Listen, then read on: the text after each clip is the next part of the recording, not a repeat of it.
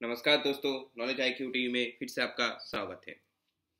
Regarding pension updation issue while I explain to all affiliate and G S still I have been receiving many request from senior retired colleagues and regarding one time ex gratia payment agreed I B A to paid to all pensioner retired till till 30 10 2023 i once again clarify that the, that that is a monthly payment of fixed ex gratia amount which will be paid to all pensioners in addition to pension amount they are drawing.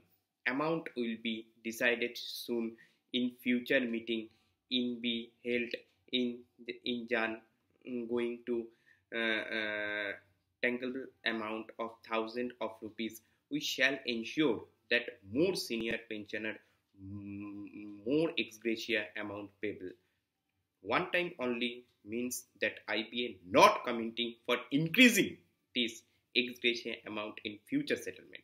But whatever is decided this time will continue to be paid per month.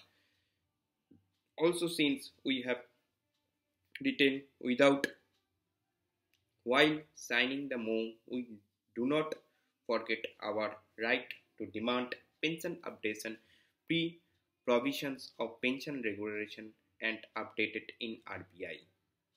Please clarify in our senior colleagues who continue raise this issue.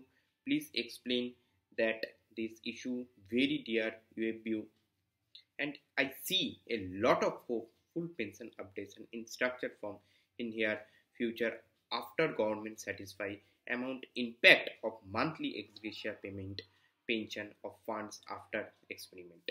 Thank you, INBOC. Thank you.